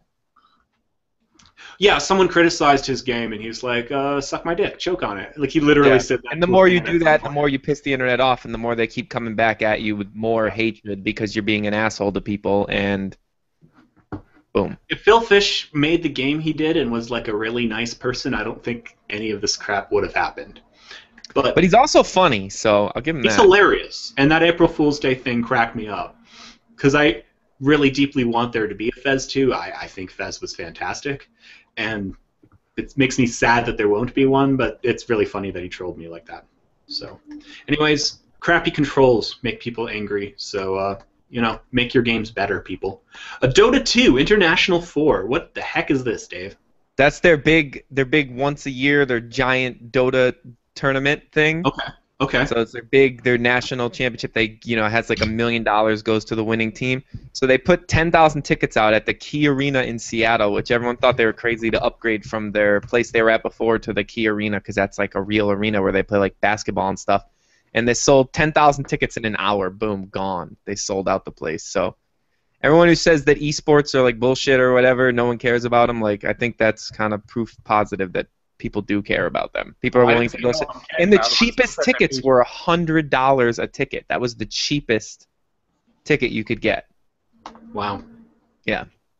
So esports I just want to put that in here because you know esports is be here to stay. I just don't like the name. esports. Twitch.tv is huge. There's like uh, people like watching people play video games. But that, but Who it's one thing to watch it for free on Twitch, and another Yeah. to be willing to spend hundred dollars and possibly travel across the country to go watch it. That just really shows you how popular it, re- it all really is. Breaking news, everybody. here we go. Breaking Apparently, news live. make use of is now fixed. MakeUseOf TV. No, makeuseof.com. We have now fixed our heartbleed. Oh, okay. And, and other breaking news. I'm at 998 followers. Wait, MakeUseOf.com was broken? Oh, the Okay, OpenSSL. I'm gonna- Oh, Catch up, Dave. did we did we fix that Twitter guy that's spamming our shit? Oh yeah, this is terrible. Anyone who reads the site knows that we have little counters for like how many shares there are on Facebook and Twitter. And there's some spam network that has decided to tweet all our articles. We have nothing to do with this. But those numbers are now completely screwed. and it sucks because we're basing we're trying to base a new bonus structure for writers, and part of that is how many tweets you get. I guess it pays into it. So now everyone's just gonna get all of our money. So we're gonna be broke, guys. Yeah, like this one article that just went up like a few minutes ago already has 1,605 tweets. What the hell is going on? Who are these spam bots, and why are they tweeting our stuff? Stop it! You're not helping it's us. I don't know if you think you're helping us. They're well, not. They're um they're fake accounts that are that are made as part of a pyramid to uh, retweet one central account. Yeah, so there's one at the top, and then everyone else retweets below it, but it's like thousands of fake accounts, and I don't want it to be happening. I don't like this. Stone Cold Steve Austin says he invented the idea of esports. Oh, that's good. That makes sense. That makes Do you know who. Stone Cold Steve Austin is? Uh, he's a he's a wrestling man. Who Yeah, wrestles. he was the best wrestler. Was he? He was my favoriteest when I was a child. Come on, guys. If you become follower 1,000, I'll give you a T-shirt. Let's do this. Let's do Do this now. power Are we do out that? of news? Oh my god, that's awesome. We finished. No, we're out of news. We're done. You can go outside if you want, James. James, you wanna you wanna go to the international four and watch some Dota? Uh, no. Oh, all right. I didn't get tickets anyway. I don't really know what Dota is, so I'll stay away from that. Jess, oh yeah, here's really some. shitty version of World Jess, of Warcraft. Jess has broke down and started playing uh playing Dota. I've been teaching her how to play. You're a bad man, Dave. She wa she asked me to teach her, so I said, "Yeah, sure, I'll teach you to play Dota." So it's been a co- long and complicated road of trying to teach her like the most complicated video game on the face of the planet, but she's doing all right. She But she wouldn't, like let, she you, wants to. she wouldn't let you uh, tape her learning for. No, she wouldn't let me tape her. I wanted to because I thought it'd be funny to see me try to yell at her and tell her to do shit, and then her get mad at me, and but she's like, "No, I don't want that. Post it." So I think Bad we should wrap up the show. Did we wrap up the show already? Wrap it up. Thank you for listening to Technophilia. If you don't know this, you can actually listen and interact with us live. You could be those people we refer to when we say the chat room. All you need to do is on Wednesday mornings, at least here in the U.S., go to makeuseof.tv slash live. Um, you can get notifications of when this is happening if you go to twitter.com slash the technophilia, or you can uh, join us on Facebook. Facebook.com slash technophilia podcast is where you'll find us. Uh, if you like the show, please take the time to leave us some nice reviews. We deeply appreciate it, and uh, you know, it's just an easy way for you to help. Oh man, everyone's gonna unfollow me on Twitter now. I'm screwed. I just did it. You're at 997 now. Really? Yep. Oh, asshole. Twitter's not showing this yet. Anyways, the after show starts now. So uh, if you have some art ideas, let's do it. I heard talk of Technophilia Land, but I'm not seeing any ideas of what would Technophilia Land would look like. It's the new Can- paradise. They, they can un- they- they're saying they're gonna unfollow me too. I don't really care. I'm at like 1,300 followers, so I- I'm I'm already well over. I don't think 300 of you are gonna unfollow me because there aren't 300 of you. If you really want to piss off Justin, you could follow me instead. No, don't follow James Bruce on Twitter. What is James's Twitter? It's like Wolfie something or other. Wolfie Smith. Yep. Where did that come from anyway? The Wolfie Smith thing. Yeah, what is that? And why is your Uh, why is your uh, Twitter avatar like a very small thumbnail inside the already tiny thumbnail? I don't know about that, but Okay. Wolfie Smith is from an old uh, TV show that we had in England. He was um, he was like a communist. His catchphrase was "Power to the people." Did his did his name also have a zero in it? No, that was just because some bastard stole the name already on Xbox Live. James Okay, has she's 490. asking if we see Yeah. Why is your avatar an avatar inside of an avatar? That seems like a very poor design choice on your part. It's really bad. His Twitter What? is just Don't know where that comes from, dude. awful. I think. James, I ordered a pizza yesterday on Pizza Hut and I managed to not tweet about it. no, it's not just Twitter with James. Every time he orders a pizza, it goes to Facebook and Twitter. I have no idea why. Look, I actually have the box right here. P- Technophilia Podcast brought to you by Pizza Hut. All things pizza. Okay, Look so how greasy Facebook it is, though. changed something. Look at that grease, everybody. Look at look at the grease. Look at that. I kind of buried. I should have done the whole show like this with like a Pizza box just next to Drum my roll, please. Oh, come on. We don't. If we're not getting paid, we're not doing that. That looks so greasy and nasty. Put that down. But that's because I, I took a pizza piece a piece of pizza out, you know, and then bit it and then set it on top of the box as if the box was a plate. That's why the grease is all centered in this vicinity. Oh no, Dave Parrack unfollowed me. I, I shouldn't have said anything. I just thought it would be cool if one of you guys became my 1,000th. I'm down to 995, you assholes. You know what? I would have been at a thousand like a, couple months ago if I didn't spend the morning of the gold medal game tweeting how about how awesome Canada is for an hour, three hours really. I lost 40 followers that morning and it was totally worth it. I didn't really care. I just thought it would be cool for you guys to be my 1,000th. I gotta refollow you though, because I want to actually see your tweets. Hey, I was followed by Dave Leclaire. Moving on up. Oh, they posted. Uh, James Giant Bomb posted a quick look of uh, Titanfall on the Xbox 360. I'm curious uh, how it looks on the 360. Ready? I imagine it looks good. My phone's ringing. Have you been playing at all? It loads. I'm. I haven't. Um. I'm at level 50, but I'm not gonna. What is it called? Regenerate, where you go around and get back down to Uh-huh. one again.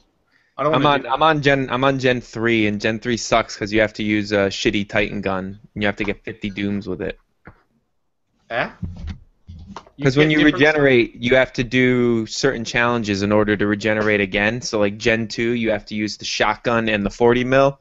Gen 3, you have to use the plasma rifle, the char- the one that charges on your Titan, Uh, and you have to use the R97 gun, and you have to get a certain amount of kills with satchel charges. So that's I can I mean I hate it, but I like it. I hate it because it's I'm stuck and it's frustrating, but I like it because it forces you to do have you more edited stuff. my Titanfall tips video yet? I was quite proud of Uh, that. I, I gotta actually. Thanks for reminding me. I, I haven't downloaded it yet. I gotta do that. Oh, for fuck. You sent it on the weekend, dog. I don't. Uh, mm. but I need to download it within seven days. I need to give you a BitTorrent sync thing because for big, really big files, it takes forever with the with the file mail thing. Most of the other authors, it's fine because they don't send me seven gig files, but since you're sending me seven gig shit, we should probably use uh, BitTorrent sync. Yep. Absolutely. giant ass file. I, I I intended to pick that SI up myself. I you better have good tips because I I don't do. necessarily trust your Titanfall skills. I talking meant for it to be picked up by somebody who was good at Titanfall. I'm good. You suck. So the title is Technophilia Land, and the artwork will be brought to us by Scudderman. Wait, what is your? Dude, your? I won. I won a load of matches using just the smart pistol and killing grunts. It was hilarious. It's like zero Titan kills, zero pilot kills, fifty-seven grunt That kills. is not a good tip. That better not be one of your tips. Damn straight it is. I came first, you idiot. That makes That's you not better a than tip it's, to be good at the game. That's a tip to be good against bad players. That's not a real tip. No, it's not. It's a tip to level up quickly. All right, fine. But the but the SI is how to be good at it, not how to level up quickly. I'm gonna smack you. I can't guarantee that I'm gonna approve of your tips.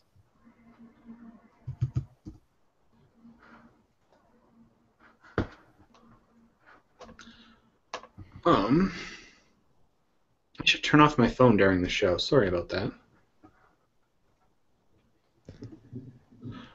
Man, I like this new webcam though. It's really nice. You should, if you need a webcam, you should look at this Logitech thing that I got. It's like fifty bucks on Amazon. That's what I have. I've got a Logitech webcam. I really like it. Which which uh which model did you get? Uh, I can't remember. This one is a, a C615. Something like that. It had some numbers and letters. It's uh it's the one that you can like you can collapse it down and make it flat to carry it around. It's pretty cool.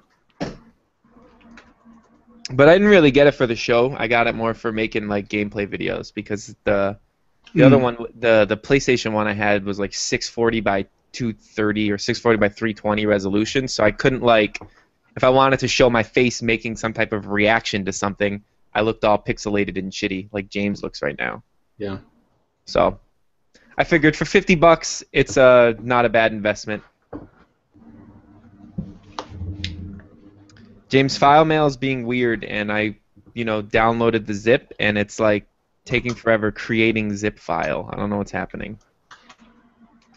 Well, considering it took me four hours to upload it, I would suggest you. Uh, There we go. It's a little. downloading now. All right, I so, got it. so someone's saying Scudderman wins the T, but I don't I don't see it. Has Scudderman gotten a T-shirt yet? Yeah, but he can have more. It doesn't matter. Okay. I gave I'm- Kashi a T-shirt uh, last week for the video game hub contest. No, that's true. Did, someone actually got it wrong this week for the first time. I've never seen anybody get it wrong. Someone I got it right, right? Oh yeah, you're always right. Yeah. Someone said it was uh, Star Wars: The Old Republic, which it is not. Star Wars: The Old Republic this week. Koshi got it right again. So insofar, I think he's the only commenter. So Koshi could win by default. Starting next week, though, I won't be giving away T-shirts. Starting next week, we'll be giving away uh, Control Freak things.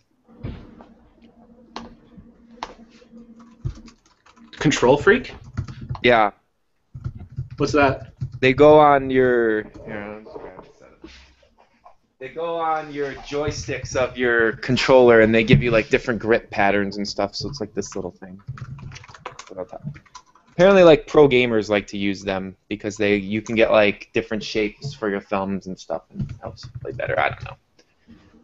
The company gave me some, and I don't need as many as they gave me. They sent me like five sets of them, and I don't need five sets of them, so I'm gonna give away the other ones.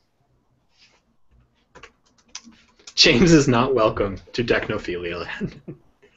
well, oh, we I, I should move on from this podcast next week. I think. I think I'm done. I think I'm going to leave. Who who should replace me? Uh, Dave Parrack. Dave Um, Barak. I think my dog Lucky could probably do it. Lucky, come here and see if you can do Justin's job. Lucky, Hey guys, this is Justin Pot in Boulder, Colorado. that's how my dog speaks, Dave. Seriously. I don't know how else does the dog speak. Without moving its lips. Sounds like Scooby Doo. Technophilia Land, a democracy. This is the Rough Rophilia podcast. Technophilia. Scudderman got it wrong too this week on the thing. Scudderman, you're you're useless. Wait, has anyone gotten it right yet? So, so if you don't know, there's uh, on video game Koshi? Show, which is Dave's show, video game show on YouTube. He he shows a screen cap from a, a video game, and if you name which video game it is, you get a T-shirt. Well, you get a chance to win a T-shirt unless you're the only person that gets it. Then you get it Yeah. automatically. But so far, every week there's been more than one person that gets it. Because once someone gets it right, then everybody just says what they said. Yeah, okay. But this What week, the hell? Make it the first person, the first person to do it. no, not the first. I put all the people that got it right into a randomizer, and then whatever it says gets it. Oh, well, then as soon as someone guesses it right, you should just, anyways. I guess But that, but that's why this week it got it gets confusing because people put the first person to guess guessed wrong. So if everybody goes and follows him, they'll be wrong. But I told the people in our podcast that Koshi got it right, so they have an advantage. They can just copy Koshi. Because the point of the contest is not to make it hard. The point of the contest is just to get people to comment. I don't care if it's challenging or not. And I went with a new game this week, thinking it would be easier for people, but apparently it was harder. it was one you talked about earlier, wasn't it? It's a bad game that I, I didn't even go with a good game. I don't think I talked about it earlier. No, I would never talk about this game. I don't play this game. Okay. It's a secret. So, I can't uh, say the game now. That's too What's easy. What's up, buddy? James, where's your dog? Where'd he go? Is he getting his dog? He's gone. James is dead. Is the James dead? Is James gone? Well, he's not there. He's getting his dog. He's dead. You see this painting behind me? My one of my friends made that. You're not looking. The, the controller? Yeah, one of my friends made that for me. That's awesome. You gotta hang it up somewhere though. and the window's kind of weird. Well, it's right there right now to block light because it Got fucks it. with the camera when the light's there. But look at how big this thing is. Ah, that's a big ass painting, That's bro. This is by Jay. Thanks, Jay. You're the man.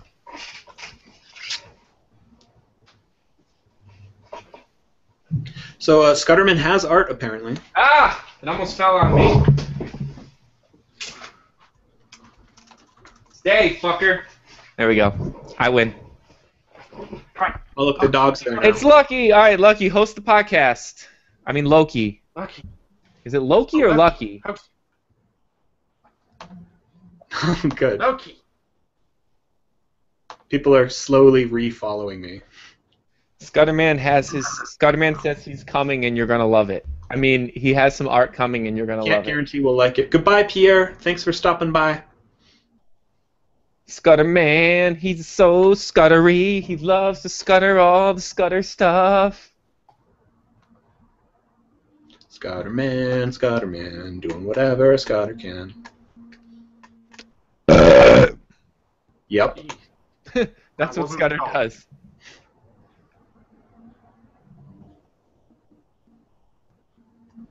We should have opened this audience question thing with the Google. Lucky, you need to talk more. Oh, but no one's using Google. Into the mic. Yeah, we have seven viewers on there.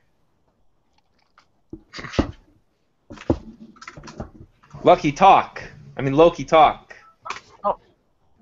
You're not Loki don't want to be on No. camera, bro. He's camera shy. Aw, poor Loki.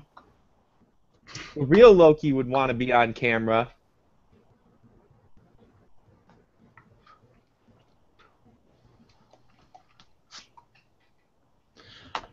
Oh, Scudderman, I'm getting sick of waiting. Scudder man, I'm gonna come to your house and scutter you. Hodge kids. Loch Ness Monster. It is low key.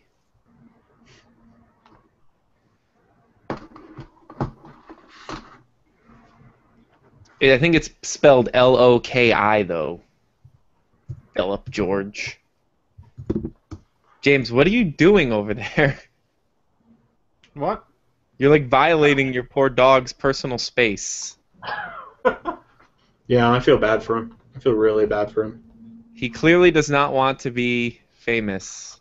Yeah, This I'm dog has no concept of personal space. sick of your crap. Oh, by the way, you can get a piece of Mac software for free right now at MacHeist.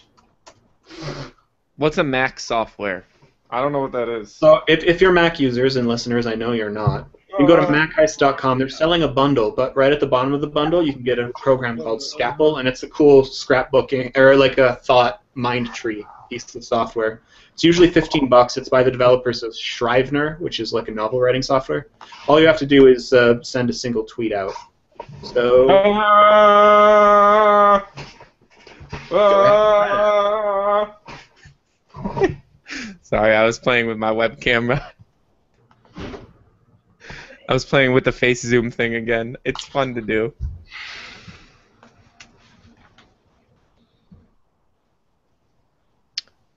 Free software is always good. If you want some free software, you should sign up for MakeUseOf Rewards if you haven't already. well, that's true. That's a good point. We'll give your asses some free right shit. Now, though, because you'll be exposing your password through uh, PunchTab. I thought you said it was fixed. No, MakeUseOf is fixed, but I'll. We don't know about PunchTab. Man, y'all motherfuckers is just motherfuckers, yo. Good point, Dave. Koshi says we should invite Scudder to the hangout. That will just distract him from making Yeah, his that's art. not going to speed things up. That will just slow him down. Seriously. We Oh, need uh. to speed him up. oh, I'm done podcasting. I should have just made art. There we go. The art has been posted. Oh, oh. Yeah, don't use my face.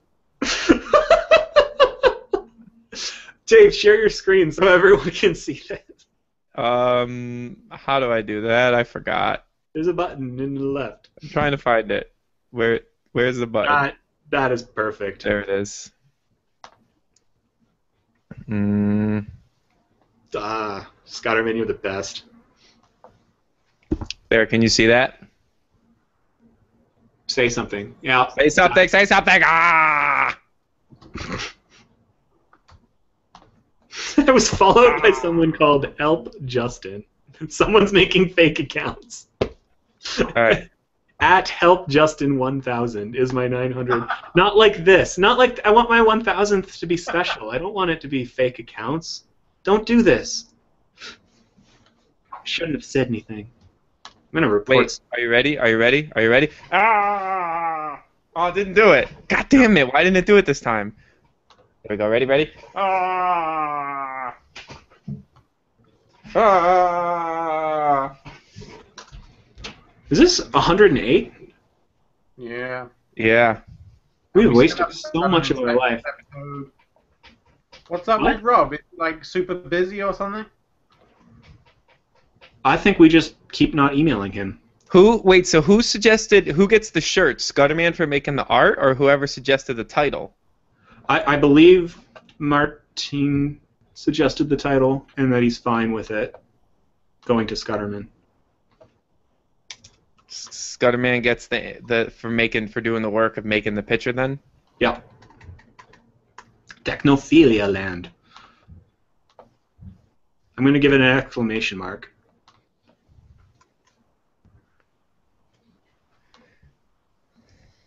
So Scudderman, do the T-shirt thing again. He knows he knows how to get in touch with you, I'm sure. he should by this point in time. But I don't want Stupid to cover up James's face, so there we go. Not even. ah, I should drop shadow. It's part of the thing. Make the text vertical on the sides. Brett Thomas. Number 1000 is Brett Thomas. He has.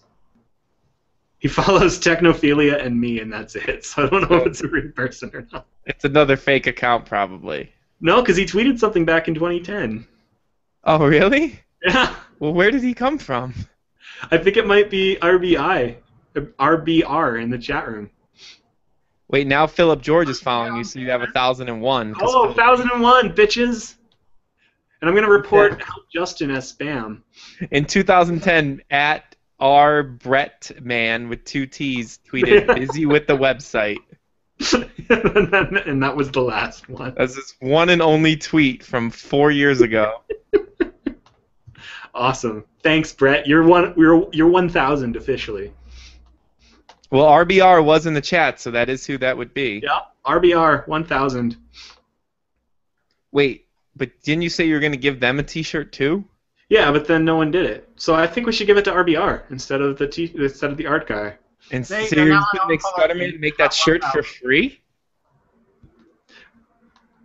Oh, what do you think, guys? We need we need technophilia justice here. Who should get it? Should it I already told 1,000? Scudderman to email me though. Okay. Well, thanks, RBR. I'll uh, have to send you something nice myself. How about my tweets? We'll just give RBR the T-shirt next week, and we won't do a T-shirt next week for the art. Okay. Yeah, that sounds fair. Next week, our guest will be from Imgur, the image sharing site. I've heard of that site. Yeah, you might I want to ask them how they feel knowing that the only reason their website exists and is popular is because of Reddit. I don't think they mind. Honestly, they made an image site that was really easy to use, and there was going to be some community that latched onto it to give it its initial boost. So I, I think they're well aware of that. I don't think they mind. I wish I was at PAX East right now. What's that? It's the the video game convention from Penny oh, the Arcade. Penny Arcade one? Yeah, they have it in Boston every year, and I could have gone this year, but um, I couldn't get Jess. The tickets were like sold out, and I couldn't get her media access. They don't do like at E3. You can get media access for like a cameraman, you know, like Yeah. who doesn't have published articles on your site, but they will be doing your filming for you. And PAX East doesn't do that. So I couldn't Yeah. get her. I got myself media access, but I couldn't get her media access, so I didn't want to go by myself. So, bad PAX East. So can we end the stream so I can actually download this thing like tonight? We Scudderman totally can. Thank you so much for hanging out. Uh, uh, uh, if you want a T-shirt, Mister uh, uh, Brett Thomas, send me an at, uh, send send me a message on Twitter, and we'll we'll make it so. Scudderman doesn't care about the shirt, so Scudderman doesn't. So yeah, if you want it, let me know. I know you made the give fake. it to accounts. RBR if you want. So I guess Thanks it's for listening, everyone. Uh, see you next week, same time, right? Uh, no, we're going later now, right? Yeah. We've got a guest next week, so No, we're not. schedule, so let me know. Anyways, see you next week, probably the same time. Bye. Yeah, same time.